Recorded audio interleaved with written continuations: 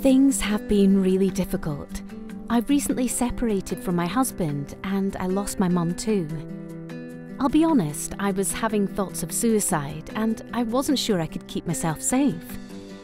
I had no idea where to go, but I needed to speak to somebody, so I went to the hospital. When I got there, I was feeling really stressed, but the receptionist reassured me that I had done the right thing.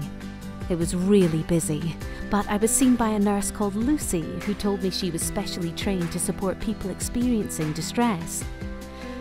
I felt I was in a safe place. I was being listened to.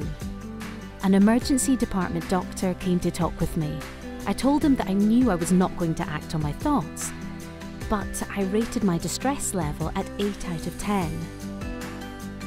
They talked to me about support options available, and together we agreed on a program called DBI. The nurse explained that I would be contacted the next day and supported over the next couple of weeks to find a way forward. I was already feeling more hopeful. I was sleeping when the DBI practitioner called, but they rang again and I did speak to them. I explained to David that my life had been a struggle since losing my job and the end of my marriage. My financial problems were stacking up and I felt completely lost without my mum. David asked if there was anything I found calming, and I told him about my pet goldfish. My controlling partner had kept my beloved dog. We began creating a plan together to help me with my anxiety and what I could do in the event I had thoughts of suicide in the future. He agreed to meet me at my local cafe for our next session, a place that feels comfortable.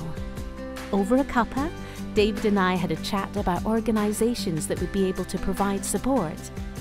I knew I wanted to talk to the local domestic violence service about my marriage, and David helped me connect with them. Next, we met over video call. David was pleased to hear that I had made contact with Cruse Bereavement Support and the Money Advice Service. The mindfulness app he had recommended was really helping me to feel more settled. I had become isolated, but I felt ready to reach out to my friend. They were happy to hear from me. Oh, I can't believe how much I achieved in those 13 days. At our last session, we completed my distress management plan and I agreed a copy could be sent to my GP. I now feel way more confident to manage distress and know where I can get support as I continue my journey.